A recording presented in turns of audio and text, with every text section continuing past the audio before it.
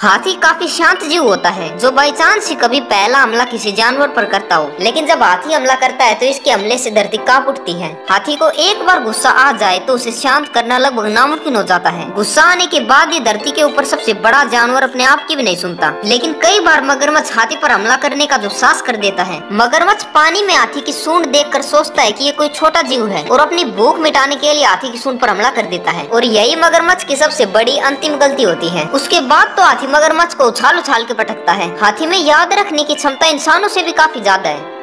अगर कोई मगरमच्छ इनके बच्चों पर हमला कर देता है तो ये बदला ज़रूर लेते हैं। बेशक वो बदला एक साल बाद लिया गया हो। लेकिन इस लड़ाई का एक डार्क साइड भी है। मगरमच्छ तो हाथी के पैरों से कुचल कर मारा ही जाता है, लेकिन हाथी की सूंड ज़्यादा डैमेज होने के बाद हाथी मारा जाता है। लड़ाई किसी ने भी शुरू की हो, उसका परिणाम तो दोनों को ही भुगतना पड़ता है। इस लड़ाई में देखिए हाथी और मगरमच्छ दोनों मारे गए।